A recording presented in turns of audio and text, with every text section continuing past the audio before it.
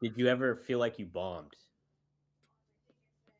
Mm, I don't think I've ever felt like I had like a, a oh um the closest the closest it was that I can uh, remember that that felt like that was um, it was a Hoodslam event in San Francisco, and uh, the little Ronald McDonald dude, um, Mikey, the wrestler slash comedian, he had booked me to do like a, I think a few locations, maybe a three day thing or something.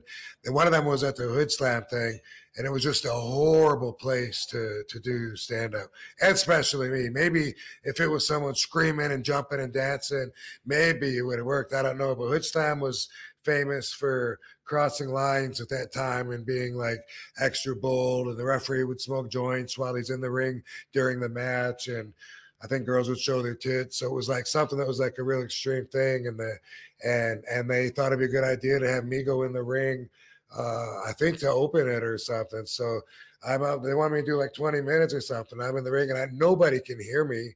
I can't even hear me. You know, the sound system's so shitty. And so with my mundane, uh, you know, facial features and stuff, you know, I'm just, you know, just talking like, uh, yeah. So, you know, I always uh, blah blah blah and uh, blah, and it, that's the closest that I think, just because the whole thing didn't work at all. But, but you know, it's not like people turn on me and were booing or you suck or anything, you know, that can remember. They just, it was just like, I was just like, you know what, I'm just gonna go over my set or my jokes in my head and practice uh, uh, getting it down and and um, you know working on my material. And so that's that's what I did for a few minutes until Mikey called it off and said all right let's uh let's go ahead and start with the wrestling. Yeah.